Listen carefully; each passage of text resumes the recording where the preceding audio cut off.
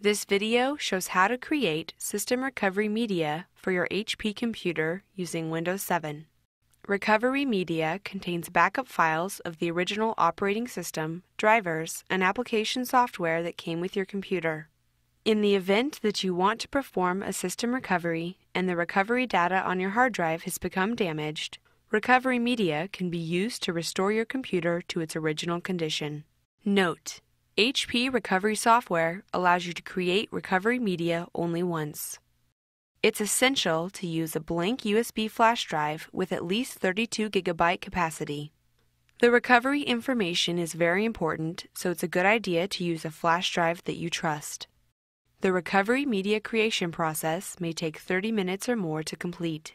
Before you begin, close all other programs running on your computer and disconnect from the Internet.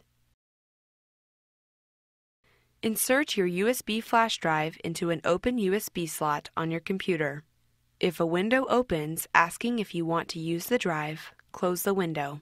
Click Start and then All Programs to bring up a list of software.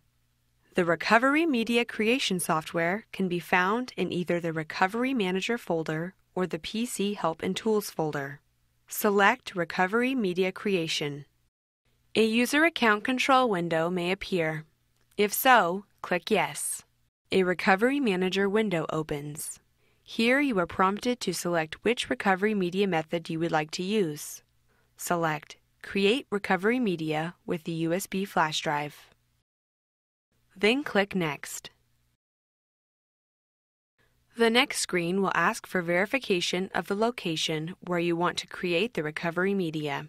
If it's not already highlighted, select the location of your USB flash drive. Click Next.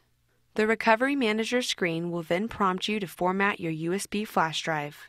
Formatting a flash drive will delete any files and information on that drive. Click OK to continue with the process. The recovery software will then begin to create the recovery media.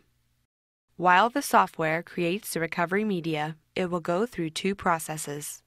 During the first process, the software copies the files to the USB flash drive. During the second process, the recovery software verifies the files.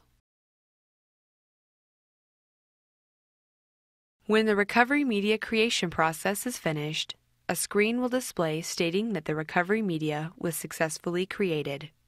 Click Finish.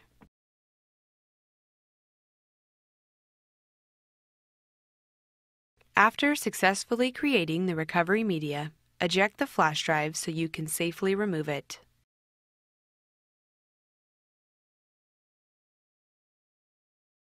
Remove the USB flash drive. It's important to keep the USB flash drive in a safe, protected place.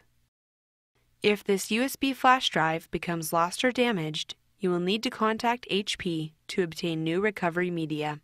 Thank you for viewing this video. For more help, go to hp.com forward slash support.